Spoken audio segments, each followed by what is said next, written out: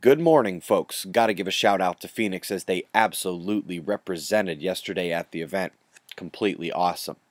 We're starting with a small CME from a departing active region. You'll see a bright surge followed by a dark stream shooting out and up. This was a minor CME and it is going completely north of Earth.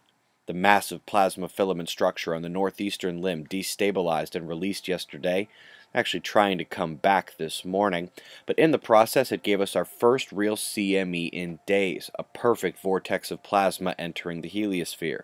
U-Yen candidate, anyone?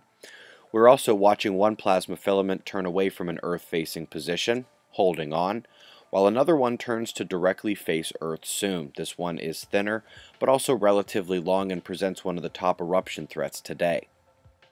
We had no major solar flares, but the sunspots are still worth a peek.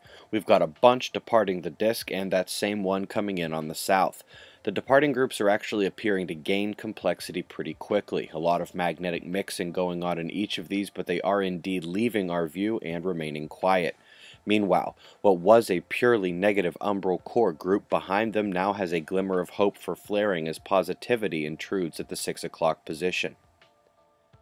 Solar wind remained relatively stable over the last day.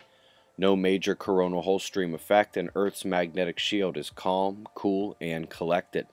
The southern negative coronal hole is about to be Earth facing this week. You can see it as the dark patch coming in behind the plasma filaments. It's got some solid force behind the equatorial lead.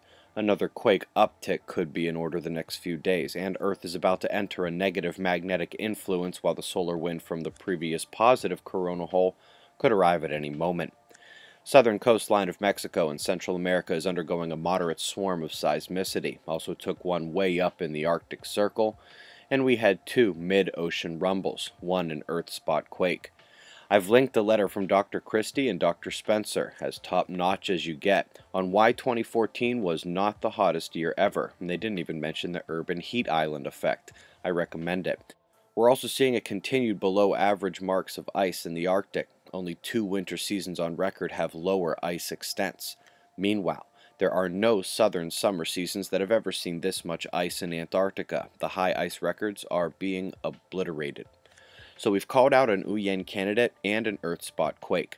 Cyclone officially named in the Indian Ocean within hours of that helical CME release, and the earthquake we took close by on the Indian Ridge is almost dead on the expected track of that storm. Giggity.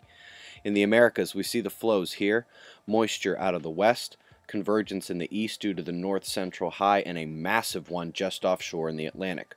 More than half the total population on the map area has a reason to monitor their local weather tonight.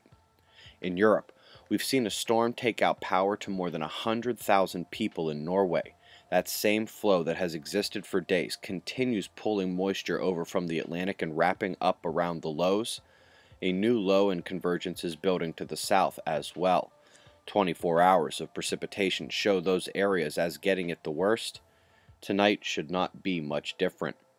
Down under, low to the northeast still draws its convergence back to the northern peninsulas of Australia, while air masses find a meeting ground to the south of them as well, precipitable water and all. Here's your thunderstorm warnings for the night. Got your current conditions and shots of our star to close at 6:20 a.m. Eastern Time, 4:20 a.m. local. That's the news. Eyes open, no fear. Be safe everyone.